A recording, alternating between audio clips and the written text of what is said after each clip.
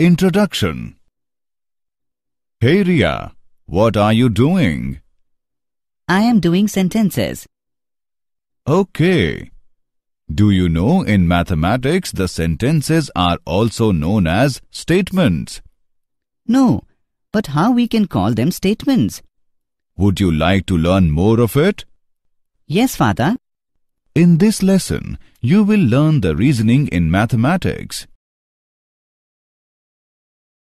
Objectives.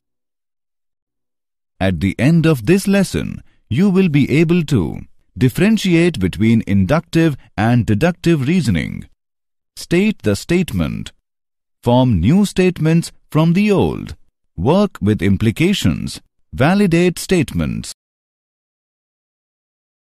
Statements. Reasoning is the process of arriving at conclusions from evidence. There are two kinds of reasoning in mathematics. 1. Inductive. 2. Deductive. Inductive reasoning is reasoning from particular facts to general principles. Example, she has red hair. Therefore, she has a temper. Deductive reasoning is the reasoning in which the truth of the input propositions logically guarantees the truth of the output proposition provided that no mistake has been made in the reasoning. Example a reasoned who infer from the belief. 1. If the room is dark, then either the light switch is turned off or the bulb has burned out. 2. The room is dark. 3. The light switch is not turned off. To the conclusion, the bulb has burned out. Statements Consider the following two sentences. India has the first Sikh Prime Minister, Dr. Manmohan Singh. The weight of a baby is less than the mother's weight. We can immediately say that the above sentences are correct and there is no confusion regarding them. Consider the sentence 3 plus 7 makes 11. This sentence is false. Consider one more sentence. Men are more intelligent than women. Some people think that it is true while some think that it is false. Now we define a mathematical statement. A sentence is called a mathematical statement if it is either true or false, but not both. The statements are often denoted by small letters of the alphabet P, Q, R, etc. Thus, the statement sun is very hot is denoted as P, sun is very hot. Some important points. The sentences with grammatical situations and the ordered statement are not considered as statements. The sentences in which variable time is used like yesterday, today, tomorrow are not considered as statements. Example State whether the following sentences are statements or not. Give reasons for your answer. 10 is less than 5. Venus is a planet. Mathematics is a difficult subject. Solution. The sentence is false as 10 is greater than 5. Hence, the sentence is a statement. The sentence, Venus is a planet, is a correct sentence as it has been scientifically established. Hence, the sentence is a statement. The sentence is a subjective one as the opinion may vary from person to person. Hence, the statement is not always true or always false. Hence, the sentence is not a statement. New statements from old. Negation of a statement. Let P be any statement. Then the statement expressing denial of P is called negation of P. Negation of P is formed by writing it is false before P. Negation is formed by inserting the word not P. Negation of statement P is denoted as not P. For example, let P be the statement Ram is intelligent. Then not P is the statement Ram is not intelligent or it is false that Ram is intelligent. Compound statements A compound statement is a statement which is made up of two or more statements. Each of these statements is called a component statement. by the use of connective words like and, or, we can combine two statements to form a compound statement. For example, P is a statement that there is something wrong with the marking or with the totaling. The above statement tells us that there is something wrong in the marking by the examiner or there is something wrong in the totaling. The given statement can be split up into the following two statements connected by the word or. Q is a statement that there is something wrong with the marking. R is a statement that there is something wrong with the totaling. Consider the following two statements. P is a statement that 8 is an even number. Q is a statement that 8 is a natural number. These two statements can be combined with the connective AND to get a new compound statement. R is a statement that 8 is an even number and a natural number. Example Find the component statements of the following compound statements. The number 3 is prime or it is odd. Chandigarh is the capital of Haryana and Punjab. Solution Given the number 3 is prime or it is odd. Its component statements are P is a statement that the number 3 is prime. Q is a statement that number 3 is odd. P and Q are connected by OR. Chandigarh is the capital of Haryana and Punjab. Its component statements are P is a statement that Chandigarh is the capital of Haryana. Q is a statement that Chandigarh is the capital of Punjab. P and Q are connected by AND. Special words, phrases. The word AND. 1. The compound statement involving AND is true if all its component statements are true. 2. The compound statement involving AND is false if any of the component statements is false. Others may be true. Let P and Q be the component statements, then P and Q is denoted by P and Q. The truth table for P and Q is represented as for P true and Q true, the P and Q is true. For P true and Q false, the P and Q is false. For P false and Q true, the P and Q is false. For P false and Q false, the P and Q is false. For example, P is a statement that 30 is divisible by 2, 5 and 6. It has following component statement. Q is a statement that 30 is divisible by 2. R is a statement that 30 is divisible by 5. S is a statement that 30 is divisible by 6. Q, R and S are true statement. Also, P is a true statement. The word or. Exclusive or. In a compound statement, P or Q, if exactly one of the two alternatives occur, that is component statements P or Q, but not both occur, then connecting word or is called exclusive or. For example, P is a statement that a cold coffee or a cold drink is available free with a double pizza. This means that a person who does not want cold coffee with a double pizza can take a cold drink in its place. Or if one does not want a cold drink with a double pizza, can have a cold coffee. But a person cannot have both with a double pizza. This is called exclusive use of word or. Inclusive or. In a compound statement P or Q, if at least one of the two alternatives occur, that is, component statements P or Q or both occur, then the connecting word or is called inclusive or. For example, Q is a statement that a student who has taken business studies or mathematics at plus 2 stage can apply for BCom pass course. Statement Q implies that the students who have taken both business studies and mathematics at plus 2 stage can apply for BCom pass course as well as students who has taken only one of these subjects can also apply for BCom pass course. This is called inclusive use of word or. 1. A compound statement with or is true when one component statement is true or both the component statements are true. 2.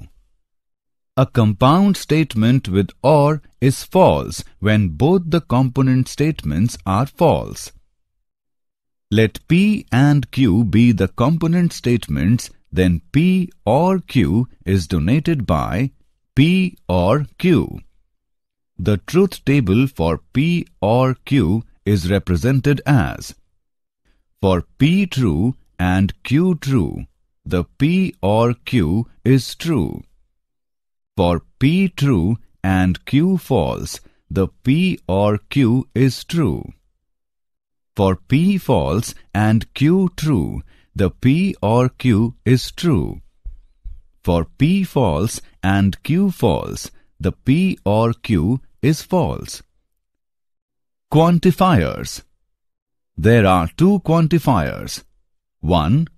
There exists. 2. For all. For example, P is a statement that there exists a circle whose radius is one unit.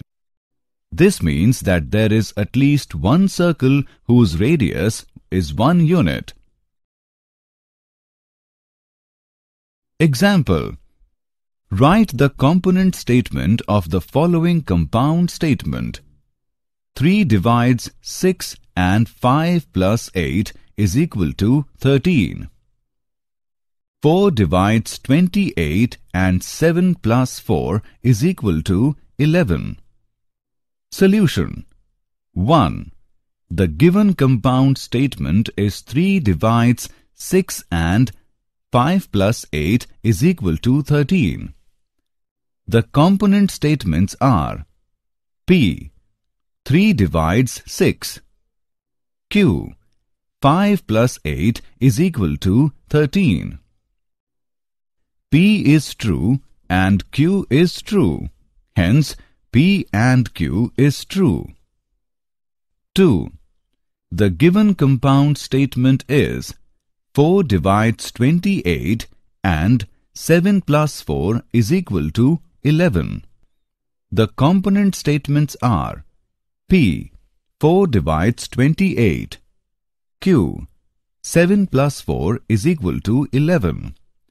P is true and Q is true. Hence, P and Q is true. Example For each of the following statements, determine the inclusive or or exclusive or use of words. Give reasons for your answer. The shop is closed if there is a function in the family or it is a closed day students can offer Sanskrit or Urdu as a third language.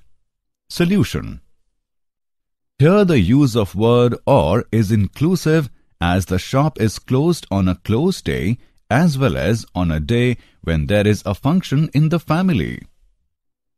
Here the use of word or is exclusive as the student can have both Sanskrit or Urdu as third language but cannot have both of them.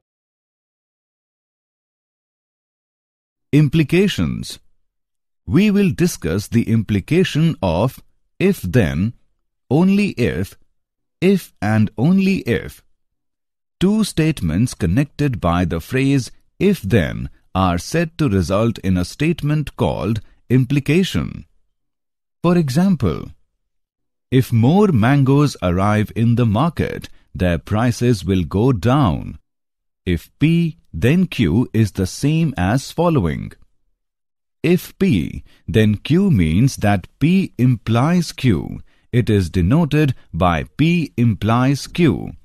This says that a number is a multiple of 10 implies that it is a multiple of 5. P is a sufficient condition for Q. For example, knowing that a number is a multiple of 8 is sufficient to conclude that it is a multiple of 4 also. P only if Q. This says that a number is a multiple of 8 only if it is a multiple of 4. Q is a necessary condition for P. This says that when a number is a multiple of 8, it is necessarily a multiple of 4. Negation of Q implies negation of P. This means that when a number is not a multiple of 4, it is not a multiple of 8. Contrapositive and converse. The new statements formed from the given statements by the use of phrase if then are called contrapositive and converse. For example, the following statement involving if then if there is a brisk selling of stocks in the stock market, then the Sensex falls sharply. Contrapositive of statement is If the Sensex does not fall sharply, then there is no brisk selling of stocks in the stock market. Both the statements convey the same meaning. The converse of a given statement, if P then Q, is if Q then P. Consider a statement. If two integers x and y are such that x greater than y, then x minus y is always a positive integer. The converse of this statement is, if two integers x and y are such that x minus y is always a positive integer, then x greater than y. Use of if and only if. It is represented by the symbol if and only if which means the following equivalent forms of the two statements P and Q. P if and only if Q. Q if and only if P. P is necessary and sufficient condition for Q and vice versa. P if and only if Q. Example Write the contrapositive statement of the given statement. If a quadrilateral is regular, then it is a square. Solution Given If a quadrilateral is regular, it is a square. Contrapositive statement. If a quadrilateral is a square, then it is a regular quadrilateral. Example. Write the converse statement of the given statement. If a number is divisible by 24, it is divisible by 12. Solution. Given. If a number is divisible by 24, it is divisible by 12. Converse statement. If a number is divisible by 12, then it is divisible by 24. Example. Combine the given statements using if and only if. P is a statement that if a pair of opposite sides of the quadrilateral are parallel and equal, then it is a parallelogram. Q is a statement that if a quadrilateral is a parallelogram, then its one pair of opposite sides is parallel and equal. Solution Given P is a statement that if a pair of opposite sides of a quadrilateral are parallel and equal, then it is a parallelogram. Q is a statement that if a quadrilateral is a parallelogram, then its one pair of opposite sides is parallel and equal. Let us combine these statements using if and only if. We get a quadrilateral is a parallelogram if and only if its one pair of opposite sides is parallel and equal. Validating statements. Rule 1. Statements with AND. If P and Q are two statements, then in order to show that the statements P and Q is true, the following steps are needed. Case 1. Show that the statement P is true and Case 2. Show that the statement Q is true. Rule 2. Statements with OR if P and Q are mathematical statements, then in order to prove that the statement P or Q is true, we consider the following. Case 1. By assuming that P is false, show that Q must be true. Case 2. By assuming that Q is false, show that P must be true. Rule 3. Statements with if-then. In order to prove the statements if P, then Q, show that any one of the following is true. Case 1. By assuming that P is true, then prove that Q must be true. Case 2. By assuming that Q is false, prove that P is false. Rule 4. Statements with if and only if in order to prove the statement P if and only if Q, we need to show Case 1. If P is true, then Q is true. Case 2. If Q is true, then P is true. By contradiction. In this, we check statement P is true or not. We assume that P is not true, that is negation of P is true. Then we reach at some result which contradicts our assumption. Therefore, we can say that P is true. Did you know? Aristotle made a huge contribution in deductive reasoning. A German mathematician, G. W. Leibniz, has developed the concept of using symbols in deductive reasoning. Summary let us summarize what we have learned. Inductive and deductive are two kinds of reasoning in mathematics. Let P be any statement, then the statement expressing denial of P is called negation of P. By the use of connective words like and, or, we can combine two statements to form a compound statement. Let P and Q be the statements if exactly one of the two alternatives occur, that is, component statements P or Q, but not both occur, then connecting word OR is called exclusive OR. Let P and Q be the statements.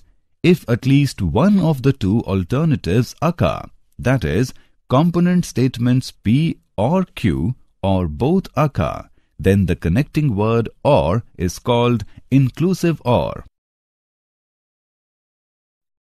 There exists, for all, are the two quantifiers. Two statements connected by the phrase if-then are said to result in a statement called implication. Only if, if and only if comes under implications. The new statements formed from the given statements by the use of phrase if-then are called contrapositive and converse.